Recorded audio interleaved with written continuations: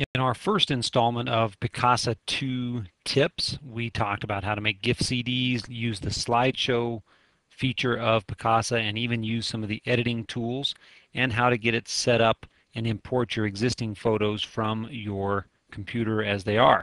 And again, just to remind you, Picasa 2 is a free program. It is a program that does not contain or hold any pictures. It simply manages the pictures that are currently on your computer. In today's tip, we are going to teach you how to use some of the tools, more of the tools here at the bottom of Picasa 2, including how to email photos and use the new web album, which may take the place of emailing photos for you once you see how well it works. We're also going to learn how to import photos from your camera or your scanner so that they can be placed on your computer where you want them and also have Picasa 2 manage them at the same time. So first of all, we're going to go into our folder. I'm going to click my classes folder on the left. And then I'm going to select two photos from that folder that I would like to put on a web album.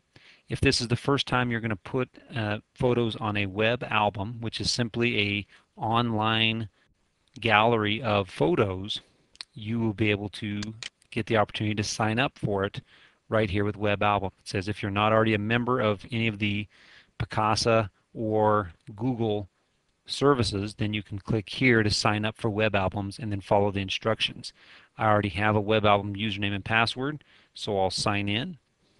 Once I sign in, it gives me the op opportunity to create a new web album, or if I already had a web album, to add existing, add to an existing album. You can title your album, so I'm just going to put class photos you can give a description if you'd like, which will also be up on the web, and even a place taken if you'd like to do that. Then the most important thing, depending on your connection speed, is how large of a picture you want to upload to the internet.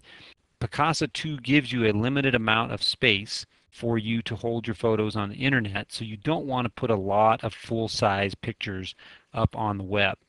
So I'm going to choose medium size, and then I will click OK and you can see the progress of uploading the photos. It tells you that it's completed. So now we're here in our browser window, and this is what a Picasa web album looks like. It will show you the photos as thumbnails on the left.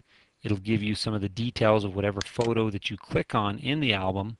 And then if you click on a photo, it gives you the full size picture, whatever the largest size you chose was of the picture. And then your visitors also have the ability to scroll through your photos and that's what a photo album is, or a web album in Picasa 2. Next, if you want to email a photo, you simply click on a photo or hold down Control key on your keyboard and click on the photos that you'd like to send. As you use the Control click, you can see the highlighted blue border around the photos indicates those are the photos you have highlighted and in the lower left hand corner of Picasa you'll see small thumbnails of the files or pictures that you have highlighted. Then I can click the email button here at the bottom of the tray in Picasa and it comes up and asks me how do I want to send that to either Microsoft Outlook or Outlook Express, Gmail, or Picasa Mail. Gmail is the free Google email. Picasa Mail is a extra part of Picasa that you can again sign up for for free or if you are using Outlook Express this will work the same way. After I click the Outlook button my new email pops up with the four photos automatically resized and they've been attached. All I need to do is change the subject. Google will add just some text in the body of the message that I can delete if I so choose and then address it and send it just as I would any email. Printing from Picasa works much the same way as using the web album or email. I can just highlight the photos I'd like to print, click the print button at the bottom of Picasa, and then up pops up the Picasa layout options that I can use. Whether I want to do wallet size prints, 3x5s, 4x6s, etc. Then I can choose the printer, printer setup, in addition, one of my favorite things about Picasa is the, the easy ability to order prints. Once I've downloaded my photos, I can click Order Prints, and Picasa presents me with a number of different options for me to order print. So if you have an account with one of these programs, you just click on Choose, the photos will automatically be uploaded to their service where you can work with them and choose what type of photo products and how many photos you want to be printed. One little advanced tip on Picasa when you're selecting photos is oftentimes if you want to switch and pick photos from more than one folder, you will see that you're going to lose what you picked in the first folder. So for example, I have four photos selected as indicated here in my classes folder.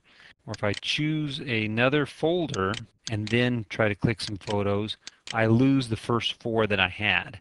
So what you need to do to overcome that, I'm going to select two photos to make it easy to see down here. And I'm going to click hold these photos. Then if I click to classes and select two more photos, maybe three photos, the first two are still there. And if I click the hold button there, I can choose to go to a third folder if I'd like. And then once I get to the third folder, I can get all of those photos together. So keep that in mind if you are switching between folders and you'd like to be able to highlight more than one picture from different folders, make sure you use the hold option.